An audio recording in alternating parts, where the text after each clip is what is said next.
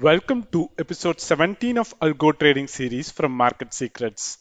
In this episode, we are going to learn how to code MACD intraday trend following strategy. So let's get into the setup.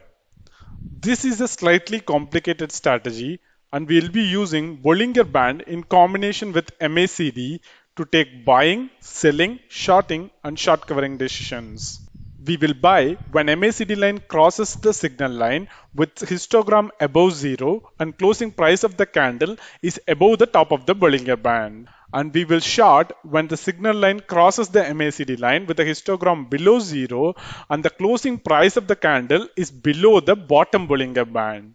And we will sell when we get the short signal and we will cover when we get the buy signal. This is our trade condition. Now let's begin with the script setup. So let me open the script. So the first part of the script is self-explanatory. These are used for setting up the values to the parameters to be used for backtesting, which we have already discussed in detail in the previous episodes. So I'm skipping this part.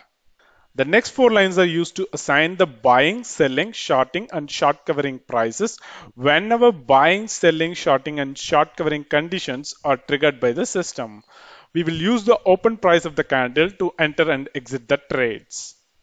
The next three lines are used for setting up the chart and plotting the chart title and price candles.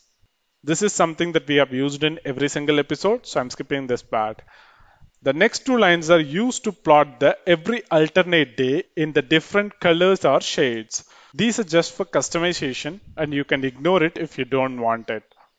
The next two lines are used to set the time limit for the trades.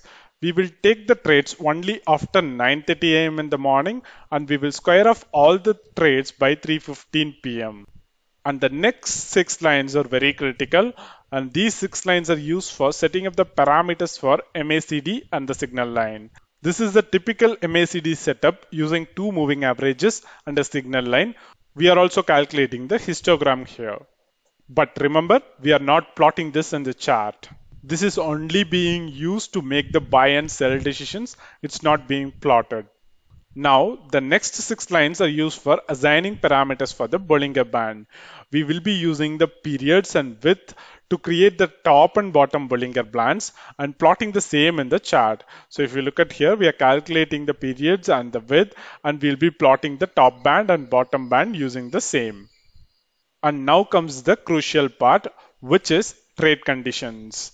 We will be using Bollinger Band and MACD to take buying, selling, shorting and short covering decisions. So when it comes to buy condition, we will buy when MACD line crosses the signal line with histogram above zero and the current time is within the allowable trade time of 9.30 am and 3.15 pm and the closing price of the candle is below the bottom Bollinger Band. Likewise, when it comes to short condition, we will short when the signal line crosses the MACD line and the histogram is below zero and the current time is within the allowable trade time of 9.30 am and 3.15 pm and the closing price of the candle is below the bottom Bollinger Band. So this is our short condition. And when it comes to sell and cover condition, we will sell when we get a short signal or if the time crosses 3.15 p.m. And we will cover when we get a buy signal or if the time crosses 3.15 p.m. So this is our trade setup. Now the next four lines of code are used to remove the excess buying, selling, shorting and short covering signals. So you very well know about this. And the next part is for printing the buying, selling, shorting and short covering prices and also the value of MACD, MACD signal line and histogram value.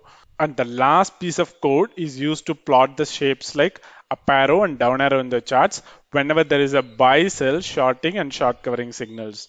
So if you look at here, you'll be able to spot the up and down arrows or green and red arrows, which will indicate the buying and selling points. So moving on to backtest, I'm going to run a backtest on this particular strategy now. So I'm going to be running this backtest on Nifty and Bank Nifty for a period of six months.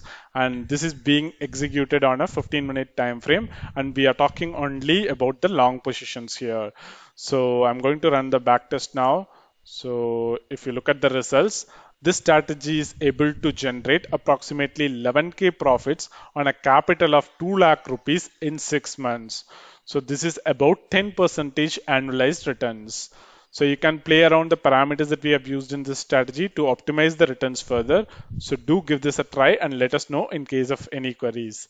As always, you can change and play with any of the parameters that we have used in this particular episode, which includes the symbol in which you want to trade, the time frame in which you want to trade, and also the various parameters like MACD and Bollinger Bands. If you have any queries, comments, or concerns about this particular episode, please feel free to ask in the comment section. We'll be happy to answer it. Hit the like button if you have liked this video and share it with your friends if you find it useful. Also subscribe to our YouTube channel and click the bell icon to get notified whenever we upload a new video or conduct a live session. Thanks for watching. Have a great day. Goodbye.